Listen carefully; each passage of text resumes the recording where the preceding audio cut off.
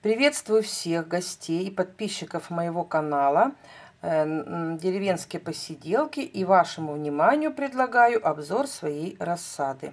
Хочу показать, в каком состоянии у меня многострадальные перцы, которые очень-очень плохо в этом году всходили.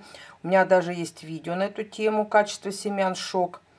У меня был в этом году действительно шок от качества семян перцев, хотя дата на них стояла хорошая. Но, как говорится, тфу-тфу-тфу, слава богу, все взошли. Конечно же, они сейчас немножко меньше того размера, чем должны были бы быть. Но, тем не менее, они меня стали радовать. Вот сегодня я проводила пикировку перцев. Хочу показать, сколько у меня перцев стоят листики кверху. Некоторые из них, конечно же, все-таки листики опустили, особенно баклажаны. Но, тем не менее, чувствуют себя довольно-таки хорошо.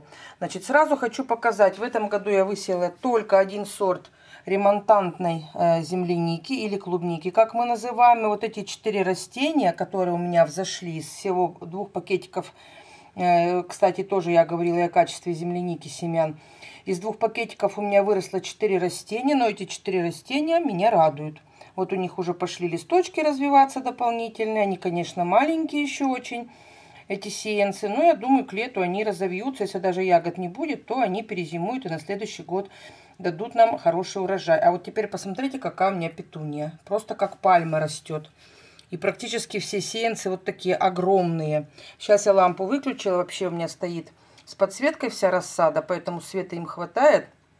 Вот, но это говорит о том, что, посмотрите, вот, петуния растет, ей все нравится, а земляника почему-то вот не взошла. Но это, как говорится, э, так, комментарии. Значит, вот здесь у меня перцы нескольких сортов. Вот здесь у меня стоит Big Mama. Big Mama все-таки взошла в большинстве своем. Вот они уже все дают уже не первую пару, даже вот пошла следующая пара настоящих листиков, поэтому сегодня я их пикировала. Вот это вот золотистый бочок, несколько перцев взошли. В этом году я сеяла все перцы ультраранних сортов по опыту прошлого года.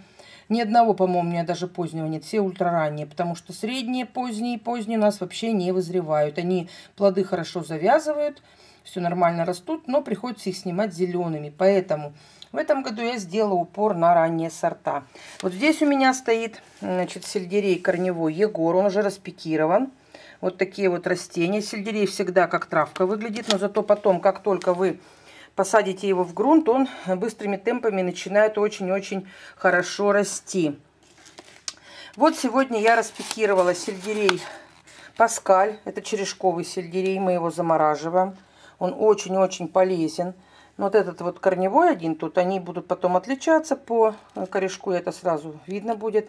Вот, а это вот у меня черешковый паскаль. Я его второй год уже выращиваю, мне он очень-очень нравится. Вот только сегодня пикировала. Так, дальше. Что еще у меня тут есть? Значит, это тоже у меня паскаль. Вот сюда я перцы отсюда убрала, посадила, пикировку сделала черешкового сельдерей. Это вот один перчик стоит, растет здесь, я его пикировать не буду. Так, здесь корневой. Тоже сельдерей, уже давно его пикировала. Вот в таком хорошем виде у меня бархатцы, видите. У меня их, по-моему, 28 штук. У меня еще рассада на втором окне. Поэтому сейчас я вам показываю без томатов. Томаты у меня отдельно все стоят. Вот это вот тоже корневой сельдерей вместе с бархатцами в одной кассете растут. Это вот пошли баклажанчики. Баклажанчиков у меня два сорта. Мы особо как бы их не практикуем почему-то, не знаю почему, потому что у нас, видимо, климат все-таки не очень для них хорошо подходит, а в теплице жалко места, потому что в теплице мы упор делаем на томаты, огурцы и перцы. Вот, но в этом году я решила попробовать. Сколько, как говорится, посажу, не знаю, но тут достаточно растений у меня. Два сорта, баклажан мишутка и баклажан дракош. Они с виду пока все одинаковые. Вот эти я сегодня пикировала, поэтому, видите, листики пока у них опущены. Но потом они в чувство придут ничего страшного не будет. Вот баклажанчики хорошо в этом году взошли. Вот у них уже, видите, следующая э, лезет серия листочков настоящих. Вот уже формируются листики. То есть они нормально себя чувствуют. Вот. Ну и перцы тоже некоторые, видите, уже большенькие стали, хоть и очень-очень долго всходили. Вот эти я сегодня пикировала только что. Буквально вот э, час назад все только что успела прибрать. Так что вот в таком виде рассада. Значит, показываю вот как зашел у меня в этом году очень дружно че, че, значит, черешковый сельдерей Паскаль. Вот я его частично, видите, пикировала, но его настолько много, что я решила оставить вот эти вот всходы. Кстати, в прошлом году я делала эксперимент. Прямо вот из такой плошки непикированный сельдерей черешковый выращивала, и был замечательный урожай. Несколько буквально прям пучками сажала растения, были огромные кусты. И очень-очень хорошие были черешки у него. Поэтому я вот это не буду уничтожать, а потом частично группочками, так, кучками посажу его. Вот, чтобы у меня его было побольше на заморозку. Ну вот там вдалеке тоже Э, черешковый сельдерей распекировала только сегодня. И вот оставила перцев чуть-чуть на подсадку. Вдруг какие-то растения будут плохо себя чувствовать. Это как бы запасные, так скажем. Тут сорт у меня мустанг и два перца вот бигмамы остались. Ну, слава богу, рассада вроде бы приходит в чувство. Э, после таких э, тяжелых всходов перца вот начинает потихонечку развиваться. Буду я их подкармливать. У меня есть видео, как подкармливать и ухаживать за рассадой. Буду их подкармливать и гуми препаратами разведенными, и йодом буду подкармливать. Бором я уже буду потом прыскать, когда высажу в теплицу томаты, например, и перцы. Ну, так что все в целом неплохо.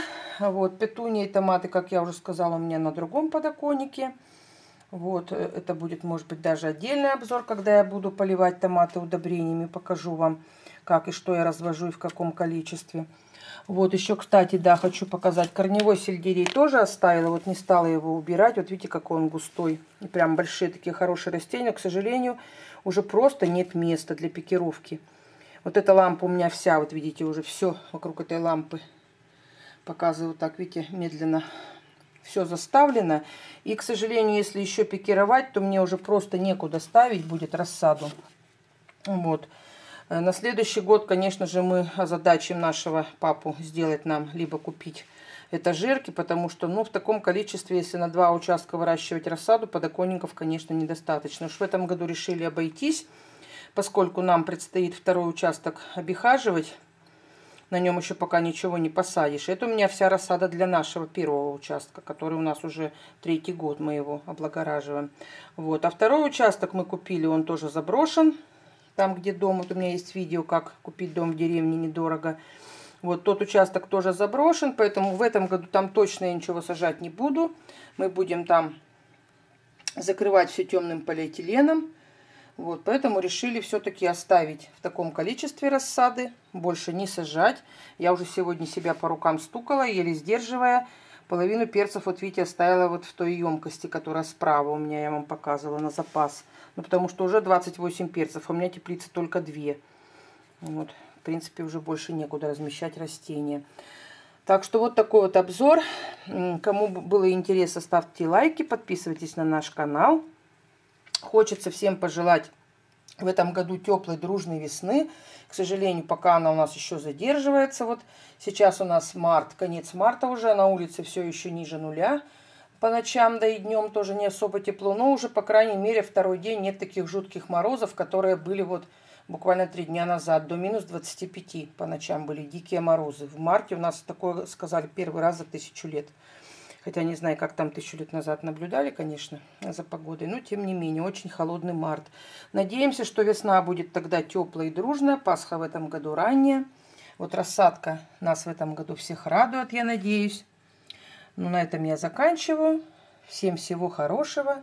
Всем хороших урожаев.